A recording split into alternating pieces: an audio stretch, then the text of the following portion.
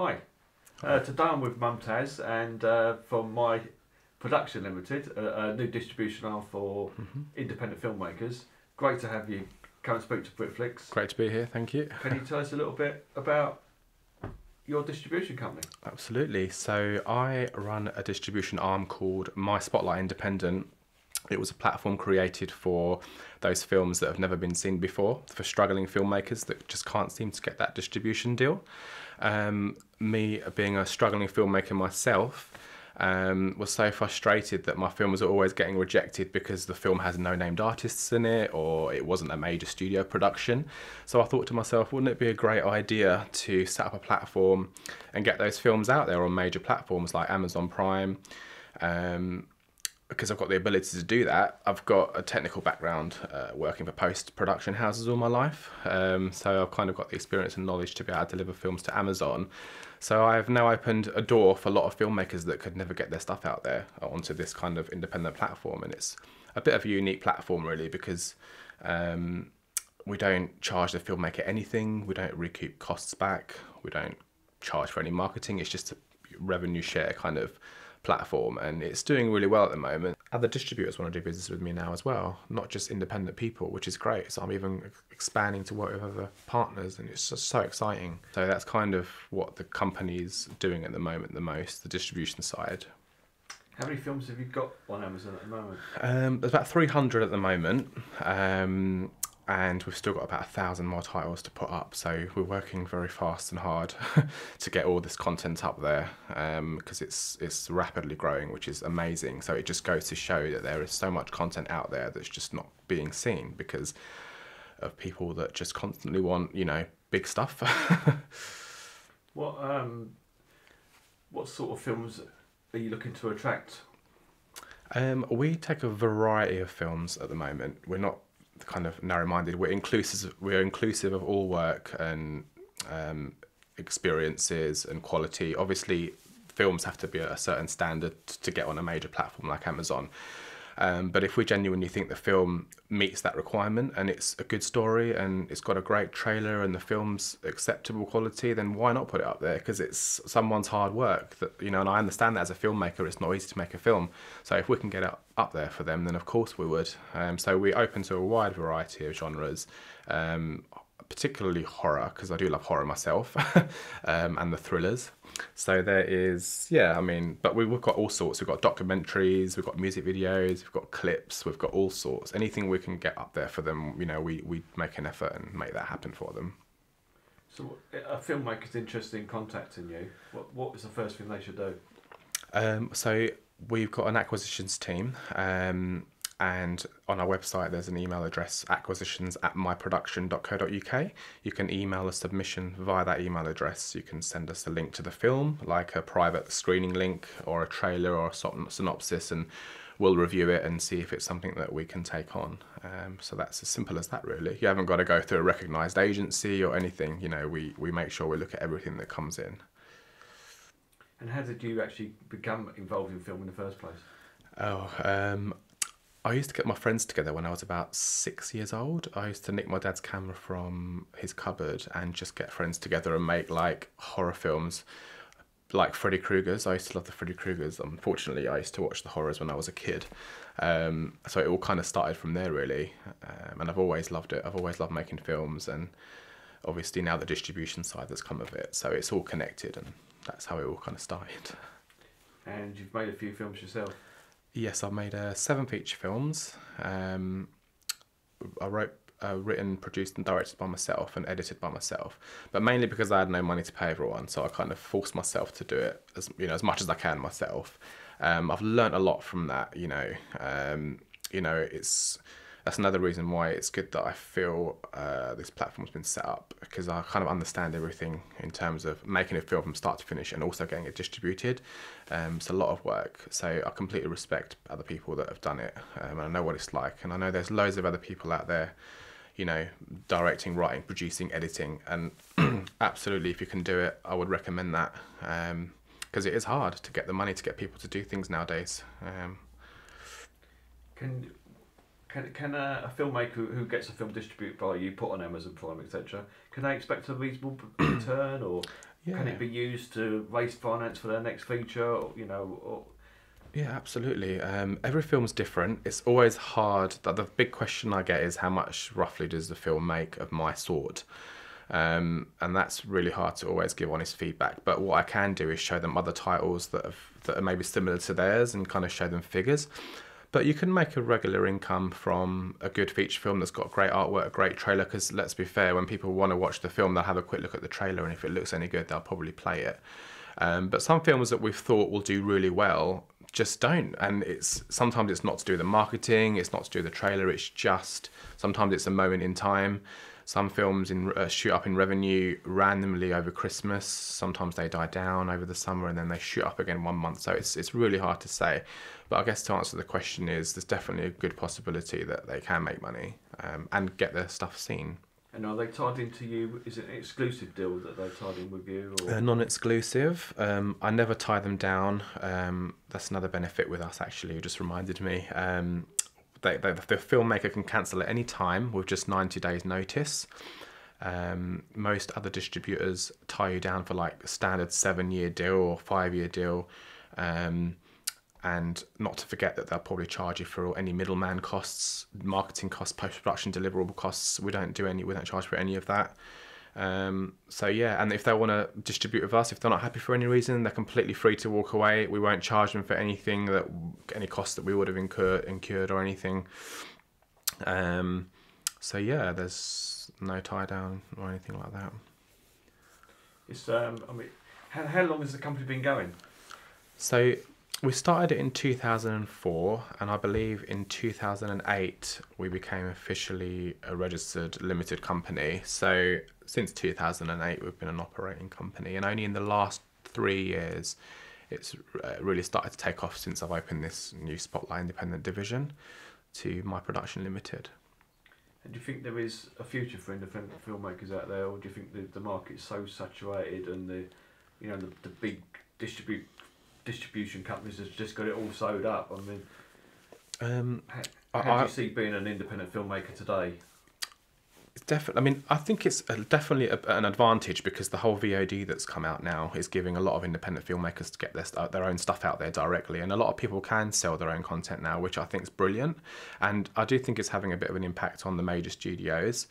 Um, but maybe that's a good thing because it's now time for us to shine and not always watch the high budgeted stuff all the time. Because let's face it, there is loads of stuff out there that's brilliant. I mean, I get so many amazing submissions every month of some incredible films that have won several awards at several film festivals, but they just still haven't even got on a platform like Amazon or even Vimeo, where it's a self distributing platform. Even filmmakers themselves don't want to some for, for some reason distribute their own stuff when they can.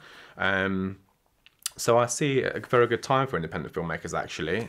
Um, so I'm, I'm kind of like an outlet for companies, sorry, for, for individuals that don't want to maybe do it themselves.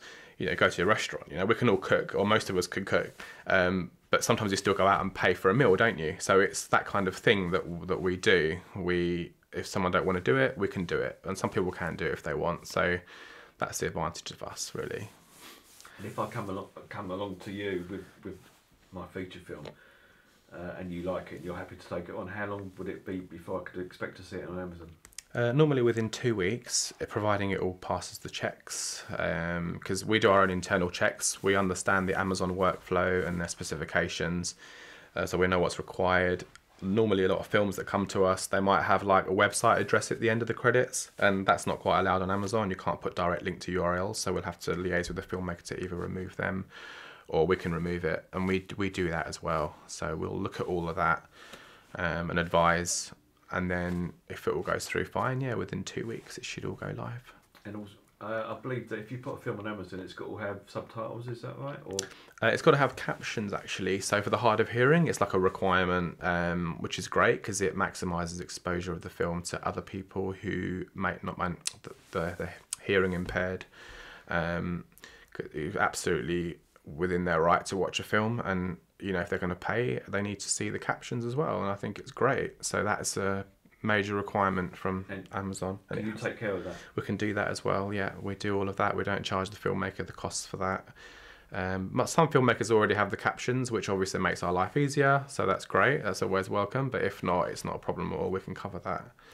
So if I've just got a film, Mm-hmm. nothing else, I, I go to you. What what what else would you need need from me as a filmmaker? So ideally a trailer, um, which we can cut if you haven't got one, or select a preferred clip from the film. Um, I always think it's important to have a clip at least available for someone to watch before they choose to watch the film. I think that that's proven that from the from the, um, the stats and the metrics report, trailers are viewed a lot, so it's quite important that the trailer is associated with the film. So we make sure we extract that if you haven't got one. If you haven't got the captions, we'll send the film to this captioning house to do a um, or to create the captions. Oh, and of course the artwork. If you haven't got any artwork, we will. We also got a designer that does the artwork from scratch. If you've got any stills, we'll ask you to give us stills. If you haven't, then we can export stills from the film, just to create the pack shot for Amazon um, in the various formats that they need it. Does it help if you've been in film festivals? Um, what the, uh, yeah, absolutely. I mean, it always gives it exposure. Um, I can be a little bit skeptical of film festivals, only because the whole point of a film festival is to one try and sell it, obviously. And if you've already got a deal in place that can get it on a major platform, then you should just go with it. You know, I'm, I'm not saying completely avoid film festivals, but if you get into the major film festivals like Cannes, of course, go for that because you can get some big buyers. But for sometimes these small independent ones, you can just waste time going round and round in circles and winning awards, winning awards, but nothing really ever happens. But if you've already got a deal in space, you, then do you think it would help? You know, so if you've been, uh, you know, I mean, for instance, our film has been in the Glasgow Film Festival, East End Film Festival. Mm-hmm. Would that be help to be a selling point? Would someone watching on Amazon think, "Oh, I might oh, watch Oh, it yeah, because it's got absolutely. into sort of one of them festivals"? Absolutely, I, I do think having laurels and you know award-winning film, I think that definitely does help. It automatically, you know, does make the customer think, "Oh, this must be a good film." You know, it's won an award. I don't think that's necessarily true. I've seen films that won awards, but for me, wasn't something that I thought was amazing. So it's it's, it's you can't please everyone with these things, but I do think it definitely helps.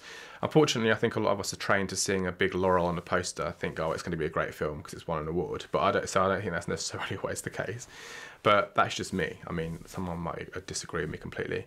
But I mean, there's, there's constant. Sorry, we get loads of films that come in that have won all sorts of awards, but they've just not been distributed anywhere, haven't made it anywhere, and it's just so sad to see. So that's why I've got some kind of evidence there that, you know, maybe film festivals sometimes aren't always the best. So if you've got a deal in your face, like mine, offering you an Amazon deal, and you're waiting a year to do the festival run, you could have made money in that whole year by the time you got it on the platform, you know, got it into all the film festivals or whatever. So, but of course, I mean, I, I do think if you've got a great film and it's brilliant quality and some major actors, you know, known actors in there, or you think you've got like a wicked hit or whatever, absolutely try the film festival circuit first, like the major ones, I'd say, to see if you can get that big deal. And I, and I would always advise my filmmakers to try and get that big deal, try and get that theatrical release, try and get the worldwide deals by major companies.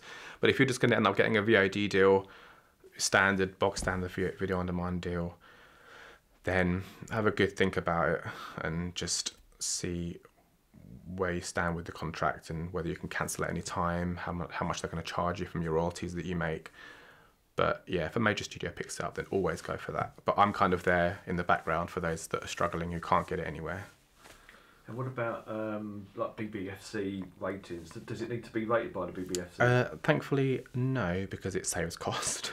Um, Amazon Prime give you the option to select uh, like a rating of your own. I know it sounds strange, but there is an in-house team at Amazon that will fail it if they think you've given it a wrong rating. So I think for VOD it's a bit different. Um, but I do understand that a, DVD being released in the UK, for example, it will by law have to be certified by the BBFC. That's, that's, that's really interesting because Yeah. so if you bring out a DVD, you- you've got to get it rated, If it's in which is UK, yeah. expensive, Yeah. as we found out. but if you go on VOD, you don't have to get it Um, rated.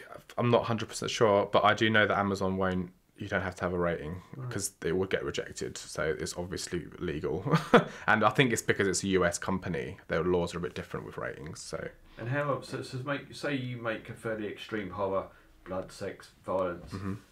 How are Amazon? Are they picky on things like that? they are. If there's nudity involved, um, drug use, and it's like constant in the film, and it's clear that it's like in your face, they won't make it available for Amazon Prime, which means anyone on the subscription won't be able to watch it for free. They'll have to pay a certain amount of money to watch that film, so it won't make it to the Prime. So normally, I advise filmmakers if they've got sensitive content to either cut it down or we can offer to cut it down. There was a film called The Little Devil that we've been trying to make compliant for Prime. Um, it's a great film, and finally we managed to cut it, cut a lot of the nudity out and stuff like that, crop a lot of shots, and we managed to get it on there um, on Amazon Prime, which is gives it more exposure because people watch films want to watch films for free. If they pay Amazon monthly to watch a film, they're going to want to um, watch the free ones, aren't they? So that's why we tried to get that film specifically on there, and we we did it. It was a bit of a battle, but we got it.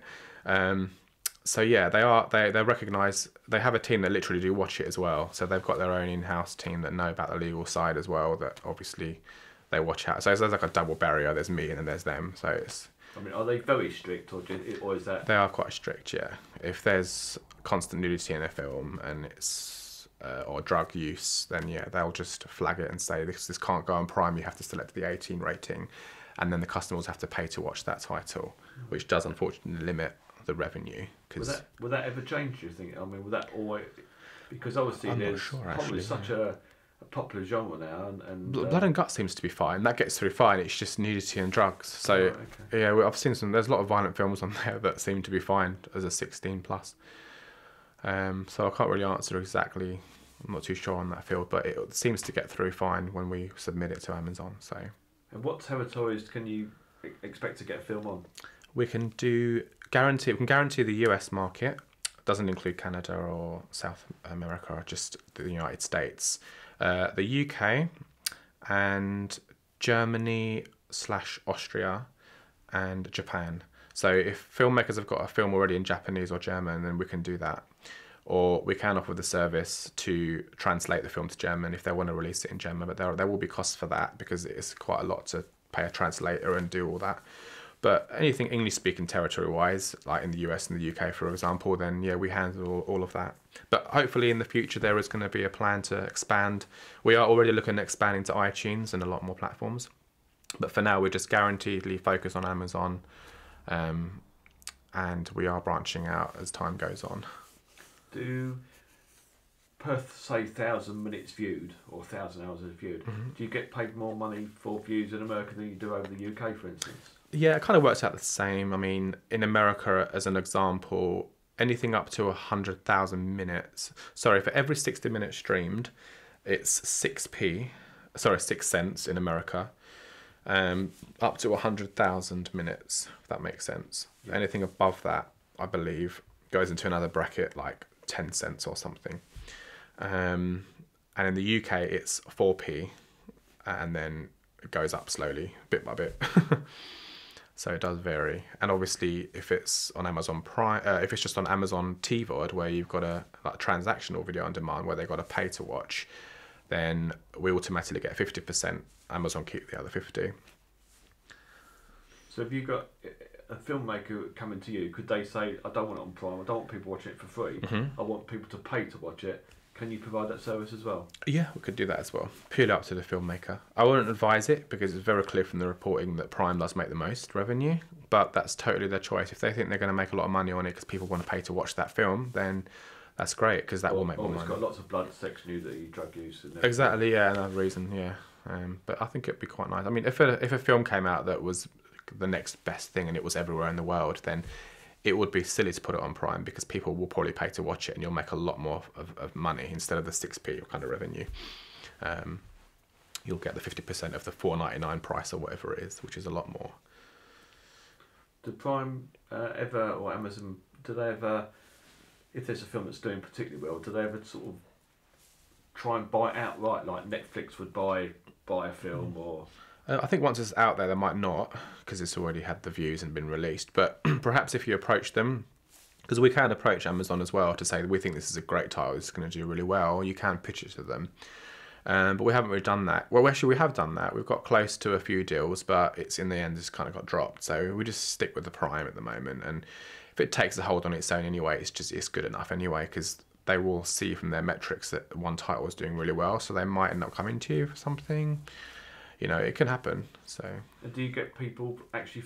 I mean, have you actually then got a channel on I don't know a lot about Prime. Mm-hmm. Have you actually got a channel on Prime? Have you? hmm Yeah, we've got um there is a URL link, I believe. Um it's got s- amazon.com slash v slash my spotlight independent and that is our channel. It's just our actual films and you can scroll through all of our genres, comedy, thriller, horror.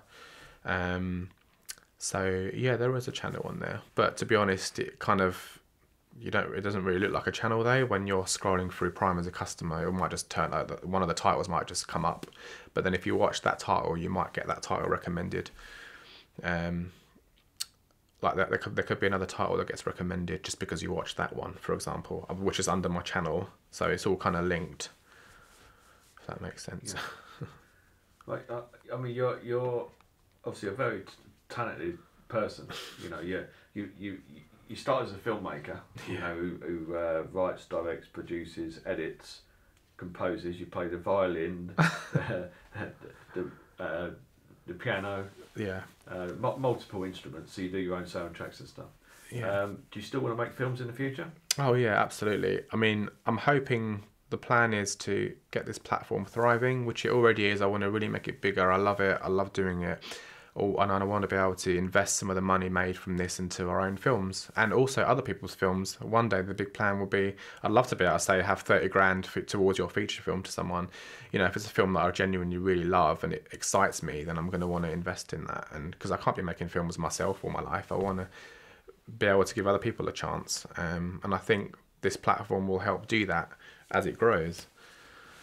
Yeah, I agree. I mean, uh, obviously, I, Britflix, I, I find making films and watching other people's films really exciting, and uh, it's su- it gives you such a buzz, helping put other people's films out. Yeah, there when- absolutely. When, they Because I, when knew they can't they can't get out there themselves. I knew what it felt. I, I know exactly how it feels because for years I've been trying to sell my stuff, send my trailers, gotten excited by one little response here and there, and then normally ends up nothing. You don't get replies. It, j- just ends up. I don't know. I mean, I've learned a lot as well. I've sent some ridiculous submissions out from rubbish films and me thinking this is the best film ever. You know, I've, I've been there and I've done all that, and I, and there's things that I wish I didn't say and do, but you learn as you grow, and I think that will makes us who we are in the end. Um, and it's so I, I understand that side of it. If someone comes to me and they make a bit of an error or an issue or annoy me, then I kind of think back to hang on. That's why I was like, I get it. It's all good, you know. So it's quite important that I've been there. I think that helps a lot. I I didn't just come in as this is a distributor, not really knowing how the filmmakers have felt. Yeah, yeah. There, there, there's some. Uh, I mean, at, at the moment, I mean, I've, I've seen some really good films this year, and I, th- I think the certainly the British independent scene is in, is in a really good place. yeah, no, absolutely. There's so many good British content out there. Um, I can't even think. I can't even start with the quantity or names, but there Yeah. are just so many things that I see, even from around the world. We're getting films from around the world, from the Netherlands. We've got a film from China, actually. We've got um, films from Germany, um, Arabic films, all sorts. Like they're kind of starting to hear about us, Yeah. and other distributors want to do business with me now as well, not just independent people, which is great. So I'm even expanding to work with other partners, and it's just so exciting. Um, so yeah, I'm really looking forward to what the future will hold. Well, Taz, it's been really good to talk to you. Thank you. Uh, I, I find it exciting, and I'm hoping that you know we can uh, cooperate together in the future, Yeah, helping no, promote love to. British, British independent and ge- general independent films. That's what we're about, and Yeah. let's yeah, Absolutely, let's do this. great you. Thank you very Thanks much so for much. having me. No, brilliant. Thank you.